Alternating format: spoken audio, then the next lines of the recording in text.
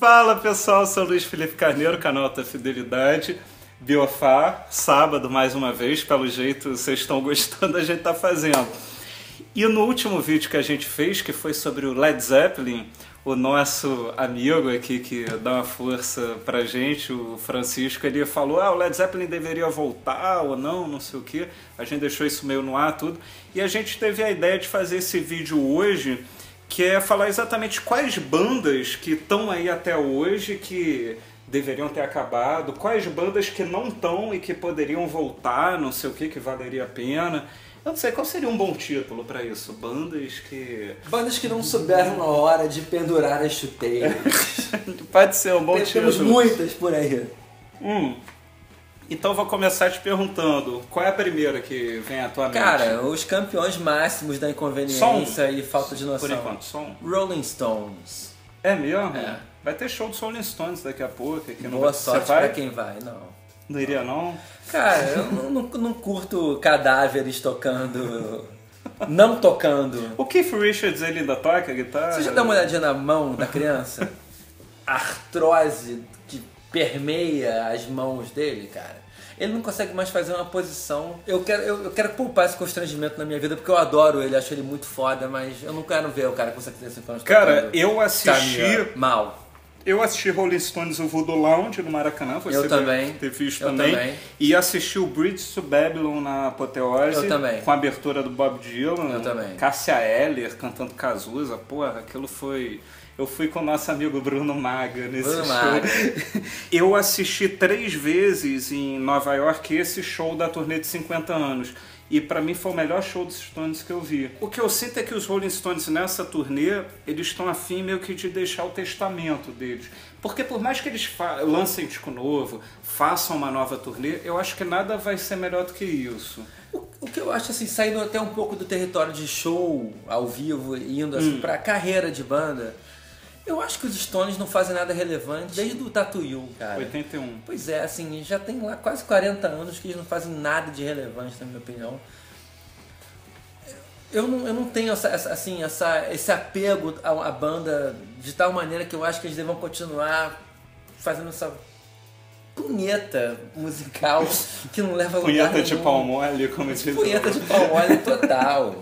Muito ruim isso. O sabe? Steel Will, você não gosta? O Voodoo Lounge? Eu gosto, eu acho legalzinho, mas assim, eu tô em casa e eu penso assim, caralho, cara, que vontade de ouvir o Steel Wheels, vou botar. Nunca vai acontecer. Entendi. Agora, eu quero ouvir o Sticky Fingers, eu quero ouvir o Exile Main Street, eu quero ouvir até o Tattoo You. Agora, eu não, quero, não tenho nenhum interesse em ouvir nada que os Stones fizeram nos últimos 40 anos, em termos de estúdio. Ao vivo, eles nunca tocaram bem. Nem no começo, nem no meio, nem no fim. Então, meio que tanto faz, mas hoje em dia é um pouco deprimente. No Shine a Light, aquele documentário do Scorsese sobre eles, você vê que tem músico de apoio no palco atrás tocando. Então, assim, fica uma coisa um pouco deprimente, um pouco desabonadora dos Stones. Eu acho que ninguém ali tá em condições físicas de, de, de, de dar uma performance de rock and roll, Mick a não Jagger. ser o Mick Jagger.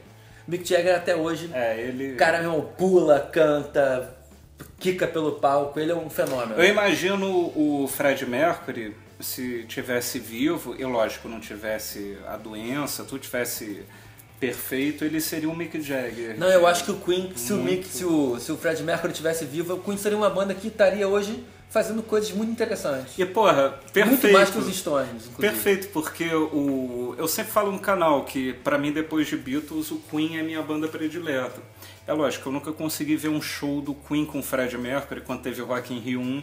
Eu chorei pro meu pai me levar, mas não tinha como, eu tinha 5 aninhos de É. idade. Mas eu adorava, pô, um primo mais velho meu, Rodolfo, que você conhece, ele tinha muito LP do Queen, eu me lembro que eu ficava ouvindo The Works, Radio Gaga, aquela, aquela veia mais pop do Queen, né? Que era o que eu conhecia, foi meu primeiro que contato. rolava na época, né? Eu Depois também, eu, eu também, pô, conheci lá o A. Night at the Opera, o jazz, aí é outro mundo. E, pô, é, eu assisti três shows do Queen com o Paul Rogers. Foi um no Rio, na HSBC Arena, e dois na Via Funchal. Pra mim, a melhor casa de shows do Brasil, que infelizmente não Nunca tem mais. fui, infelizmente. E, pô, me lembro que a Kind of Magic tava tão vazia a pista VIP, que era um preço tão extorsivo. Um show fui de VIP, o outro atrás. E, pô, o Brian May, eu tava tirando foto alucinado assistindo o show assim na grade, sem ninguém me encostando. Aí o Brian May, meio que amarradão tirando foto, ele começou a fazer pose, assim. e eu vi com o Paul Rogers, gostei pra caramba. Eu me lembro que foi o único caso na minha vida que eu pedi para atrasar um voo meu. Porque o meu voo da volta de São Paulo pro Rio era tipo 11 da manhã. Aí você chega no aeroporto de ressaca, doido para voltar pro Rio. Aí eu tava com uma camisa do Queen e a moça falou, pô, o Queen vai, vai pro Rio no voo logo depois. Eu, eu É falei, mesmo? pô, por favor, atrasa meu voo, eu quero ir junto com o Queen. Ela, ah, vou ver o que, que eu faço. Conseguiu? Não, não consegui. Tava Porra. lotado o voo do Queen porque era muita gente na equipe. Mas eu fiquei esperando no Galeão e foi lá que eu peguei o autógrafo do Paul Rogers Ah, você falou com no eles, programa. então? Falei. Cara, eu não sabia Mas eu só disso. consegui pegar o autógrafo do Paul Rogers. O mais importante Vou botar a foto, vou botar O mais a foto. importante de não, o mais importante é o Brian May. Não acho, mas tudo bem. É, eu vou botar até Paul a Rogers foto é uma do lenda, programa uma lenda por autografado si por só, ele. por causa do Free, Bad Company e tal. E depois teve o, o show controvertido, né, com Adam Lambert, que pra mim foi o melhor show do Rock in Rio de 2015. Eu achei, eu já vi, eu vi o show ao vivo e eu já vi pelo menos umas 15 vezes que eu baixei no YouTube e vi. E, pô, eu acho que o Adam Lambert mandou muito bem. Você pode até falar, pô, um pouco afetado, cara. Mas, pô, eu achei ele. o Paul Rogers tem mais gogó, mas o vocalista afetado, Queen tá acostumado com isso, né? Não, isso Não. não, é muito problema. Mas a questão, eu acho que foi até o Mauro Ferreira que escreveu isso, que eu achei muito interessante, porque o Paul Rogers, ele, porra, canta pra cacete. Era meio que um dos ídolos do Fred Mercury, que inspirou e tudo. Mas o Adam Lambert, eu acho que no palco representa mais o Queen, aquela coisa espalhafatosa, bem britânica, não sei. E, porra, eu achei muito bom ele cantando, pô, ele cantando Don't Stop Me Now, o grande momento do Rock in Rio 2015 foi Don't Stop Me Now, o Queen cantando. E, porra, eu quero que o Queen lance discos com Adam Lambert, discos com Mesmo, músicas cara? inéditas. Eu, eu- acho que o É. Queen tem muita vida com Adam Lambert, é, talvez até mais do que com o Paul Rogers, se eles estivessem juntos. E você acha que o Queen... O que, que você acha Cara, eu peço? Vênia pra discordar. Eu acho que você viu um show da melhor banda cover de Queen que existe. Mas você não viu um show do Queen. Sem Fred Mercury não é Queen. Discos de estúdio com Adam Lambert vão ser interessantes, mas eu não considero Queen. Eu, eu acho assim até... Eu entendo que meu grande amigo Nobruga falou essa frase pra mim no dia do Rock in Rio. Ele falou assim, cara, the name is show business. No business, no show. Então eu entendo que eles tenham que chamar isso de Queen, porque se eles chamarem de Brian May, Adam Lambert, Roger Taylor, É, o... eles não vão tocar em festival, não vão tocar em lugares grandes, vai ser uma coisa, uma operação menor. Eu entendo que tem o lado do marketing, que eles tenham que chamar de Queen, mas pra mim aquilo não é Queen e nunca vai ser. Eu sou, nesse ponto eu sou purista. Aliás, eu sou purista em quase todos Você nem pontos. iria a esse show. Como não foi? Como né? não fui. Como não fui e não... não... Você chegou a ver alguma coisa na TV? Vi duas, três Não músicas. gostou? O Adam Lambert canta pra cacete, canta muito mesmo, e tem uma presença. É legal, mas não me desperta o interesse. Eu não penso assim, ah, eu vou no show do Queen. Nunca passaria pela minha cabeça que aquilo ali era um show do Queen.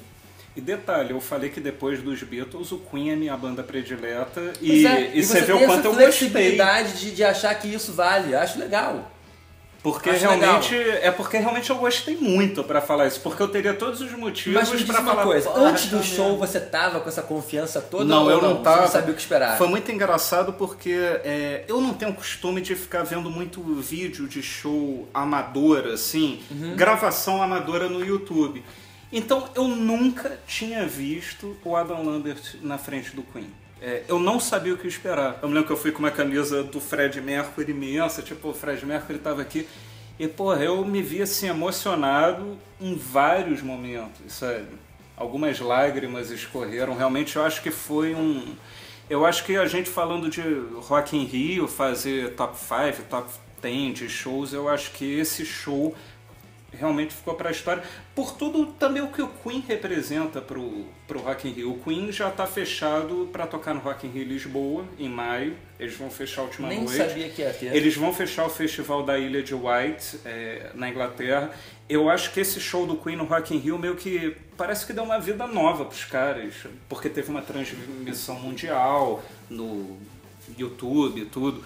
E o Queen meio que deu uma. virou uma. Já estão falando do Glastonbury, não sei, que o Queen fecharia o eu, festival. eu acho que é assim, é. Não faz mal, pra quem gosta é ótimo.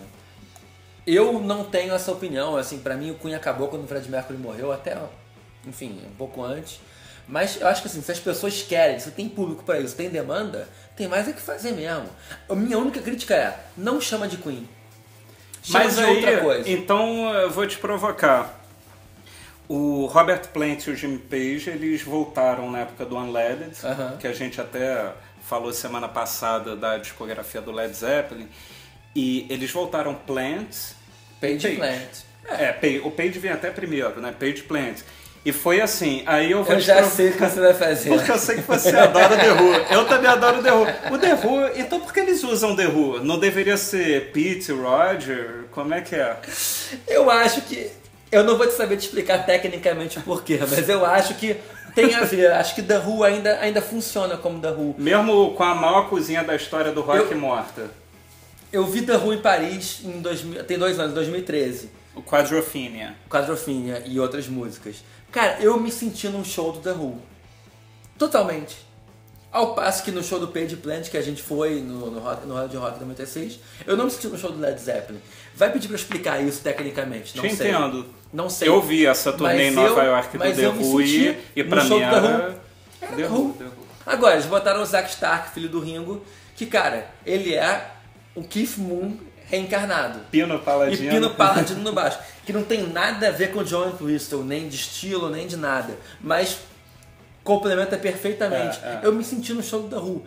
Aliás, foi um dos shows é, que eu vi assim nos últimos tempos que eu mais me emocionei. Chorei metade do show, me abracei com os parisienses lá, muito antes do Morrissey, querer hug Paris. I throw my arms around Paris. Mas eu não, não sei te explicar, mas assim, eu acho que o The Who tem uma dignidade como banda que faz eles conseguirem se manter como The Who sem causar um constrangimento que eu acho que o Queen não consegue, muito menos os Mas Stones. por quê? Só por causa do cabelo branco encaracolado do Brian May? Não, mas não vou falar que isso também não é, não é um pouco foda. A gente tinha que ter cortado aquele cabelo já, meu irmão, tem uns 20 anos. Ou né? cortado ou pintado, né? Não, não, não, não corta. Cara, cab- cabelo grande em- Cara. depois dos 40 anos, meu irmão, não dá, brother. Cara, na boa. É que nem boné. Não pode. Passou dos 30 anos, não pode usar boné. E nem cueca não pode ser cabeludo, nem muito menos cueca aparecendo. Mas vem cá, é, a gente estava semana passada falando sobre o baixista que você adora, o Leland Sklar, Grande Leland que Clark. toca com o Phil Collins. Vamos botar a foto dele E aqui. James Taylor. Ele tem um barbão, barba. assim, e você brincou que a, o James Taylor no show falou, pô, nem a mãe dele viu o cara sem barba. Exatamente. Você acha que a mãe do Brian May viu ele sem aquele cabelo? Eu acho que por um breve momento, Que, cara. pô, Que ela nem lembra mais. Só tipo, foto. sal da É. barriga na, na- quando primeira vez que amamentou Já tava. cabelo. Mas aí, cara, é, eu acho que uma das bandas que a gente pode também falar aqui é o Kiss. E eu sei que você adora o Kiss, tudo, e você não, acha. não é que eu adoro o Kiss. Kiss ajudou a moldar o meu caráter. Mas o Kiss, Kiss é uma, coisa banda elevada que pra mim. é, a gente tende esse papo. A gente tá sendo muito rígido também, a gente tá sendo muito técnico de falar, porra, a banda deveria acabar. A gente não tá levando muito em consideração, tipo, rock and roll all night, a festa. É, a gente tá levando em consideração, pô, não, essa banda tem condições de lançar um disco de inéditas legais, quê. Essa, banda tem alguma coisa a contribuir atualmente? Exatamente. E o Kiss é uma banda que pra mim realmente não tem nada a contribuir, a não ser com os seus shows que são é, shows assim orgásmicos, né? Aquela coisa, é, porra, você fica deslumbrado vendo, pô, sangue, explosões e, e músicas legais. E porra, é, você já me falou que o Kiss já deveria ter acabado há muito tempo. Há muito tempo. Mas deve ter Há uns seis tempo. meses, você me enviou uma foto pelo Instagram muito feliz. Acho que tava até com a linguinha de fora, estilo Neymar. É, eu fui- Tipo, porque tava Isso vendo é- o show do Kiss em É, Brasília. Eu fui no show do Kiss em Brasília. cara.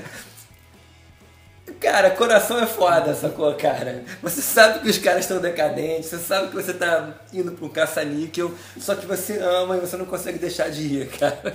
Mas é aquilo, você acha que de repente o Kiss É, deveria é como acabar. se fosse assim, aquele seu primo chato, inconveniente, mas é família, você tem que ir no aniversário do cara, entendeu? Eu não posso. Kiss é no Brasil. comunhão eu não posso não ir filho. no show do Kiss no Brasil. Eu me sinto, me sinto mal, me sinto em falta. Mas, mas e mesmo assim banda. você acha que o Kiss deveria não existir? Cara, Porque você pensa, o- a, Pois é. a- a alegria Aí eu que cheguei essa lá com meus amigos, enchi a cara, fui pro show e delirei, cantei pra caralho, saí de lá com a alma lavada, foi maravilhoso. Mas assim, na teoria, cara, é um show que, porra, ninguém precisa mais ver. É verdade. Paul Stanley perdeu a voz completamente. Ele segurou muito tempo, cara. Paul Stanley é um cara foda. Ele é muito- Ele aguentou 40 e tantos anos com a voz lá em cima, mas agora acabou, não tem mais voz. O Jim é aquele fanfarrão clássico, é sempre legal ver ele, mas é o Jim.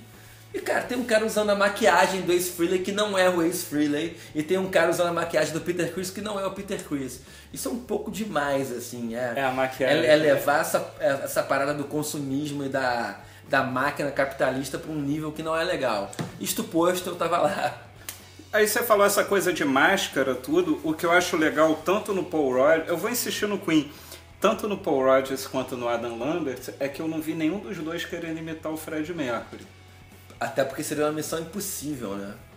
Mas o pessoal do Kiss tá lá com a marca. É, é muito. É quase que uma empresa, né? Não, não, Tipo, ah, você não tá aqui, Agora, você morreu, vamos arrumar Em, outra. em defesa ao. Kiss, eu tenho que falar uma coisa. Eles não escondem isso. O Gene Simmons fala isso abertamente. Eu sou um homem de negócios, o Kiss é a minha empresa e eu faço o que for necessário para minha empresa continuar andando bem. Ele não fica fingindo que ele é íntegro, que ele tem amor. Ele é businessman e acabou. É que nem o Motley Crue, que a gente assistiu o show juntos no Rock in Rio, e que eles todos falavam, não, a gente está fazendo essa turnê meio que para garantir a aposentadoria. Não é nenhuma... é, ou seja, como se fosse a empresa E mesmo. na entendeu? minha opinião, foi o melhor show do Rock in Rio, assim... Foi mesmo desse Foi, 2015? foi. Foi o primeiro show que colocaram mulheres louras, peitudas no palco. Cara, tipo, o, o Rock ali Farofa... é hair band, cara. Rock Farofa, Arena nunca teve Rock isso no Rock in Rio. 80, Nem cara. 85 Nem teve. teve. Cara, aquilo ali foi um momento supremo da minha vida, onde eu finalmente, cara, vi a banda que eu idolatro desde criança.